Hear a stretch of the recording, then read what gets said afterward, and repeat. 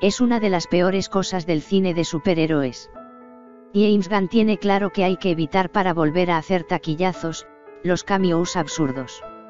El director defiende que las apariciones de un personaje deben de tener un motivo en la historia y no estar por querer marcar una casilla. Tanto Marvel Studios como Warner Bros. y DC han vivido este año varios auténticos descalabros en cines. No hablamos ya de decepciones en taquilla como Ant-Man y la avispa, Quantumania, sino de fracasos históricos como The Flash y The Marvels que han dejado preocupados, o al menos deberían estarlo, a los dirigentes de ambas compañías con el cine de superhéroes. Averiguar el motivo de estos fiascos daría para una tesis, pero quejas de los fans no faltan. Y quien dice fans dice presidentes y directores ejecutivos como James Gunn, actual mandamás de DC Studios, que en una reciente publicado en redes sociales ha mostrado que disconformidad con el abuso de cameos en películas actuales.